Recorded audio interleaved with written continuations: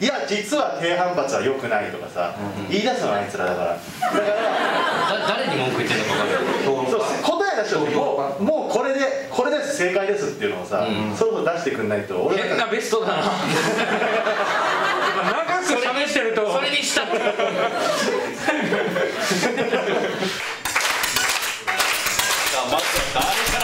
何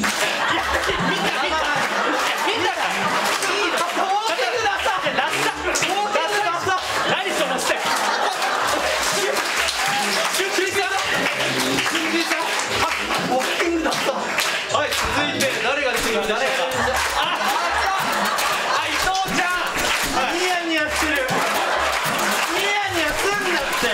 サンダルだ。サンダルだ。ダルだあいつ。